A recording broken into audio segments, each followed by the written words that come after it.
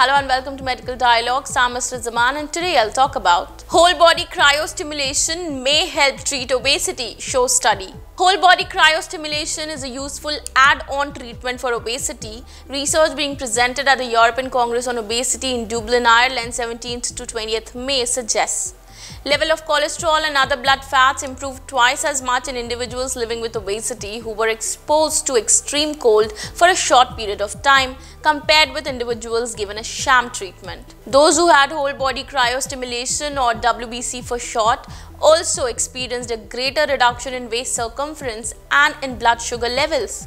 29 participants were hospitalized for a multidisciplinary rehabilitation program and non-randomly allocated either to a group receiving 10 2-minute WBC sessions at minus 110 degrees Celsius in a cryo chamber over 2 weeks or a control group receiving the same intervention at non-cryostimulating temperatures of minus 55 degrees Celsius that is sham group.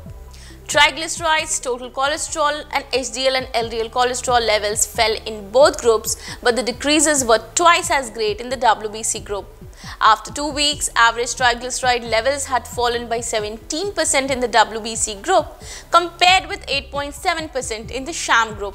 Total cholesterol HDL, LDL. Similarly, blood glucose levels and waist circumference fell in both groups but the decreases were much greater in the WBC group. Diastolic blood pressure decreased more in the WBC group while heart rate decreased in the sham group but increased in the WBC group.